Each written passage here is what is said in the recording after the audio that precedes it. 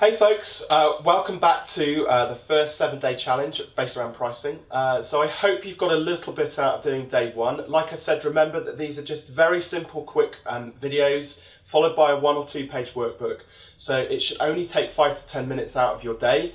And provided you follow each of the seven days, um, I can guarantee that you will start to create um, changes within your business that you didn't necessarily think were possible. You'll be fearing those challenges um, uh, that are holding you back slightly less than you were at the start of this um, seven day challenge. So, the challenge for, for day two, I want you to start thinking about your goals. Like, why, why are you in business? What do you want to get out of your business? And a lot of people, quite often, or my clients, tend to shy away when I start talking about money the thing about money is that it's actually a very um, clear and explicit key performance indicator within our business, and it's a really good way of um, testing and measuring whether we are achieving our goals or not. So, say for example, if you wanted to earn £100,000 a year, um, you can then start to break that down to £10,000 a month. We can then start to break it down a little bit further. Well, do you want 10,000 clients paying you a pound a month, or do you want one client paying you £10,000 a month? But you have to know exactly what that goal is also, I want you to um, ask yourself this question Do you have a strong enough desire to achieve that goal?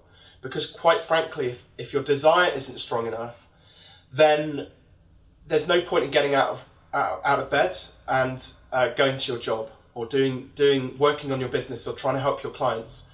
Because when we do our, if we're running our own businesses as entrepreneurs, we've got to be playing all out, like every single day of the week. And then finally, I just want you to think about the activities which you're doing on a daily basis are you procrastinating or are those idea um, activities helping you get closer towards your goal? So you'll see from the worksheet three, three or four questions. I just want to know what your goal is, how much money you want to earn, how much money that then equates to um, you earning on a, on a monthly basis, for example. I want you to score your desire on a scale of 1 to 10. Like, how great is your desire to achieve that goal? And don't just write 10 down because you think that that's what I want to hear.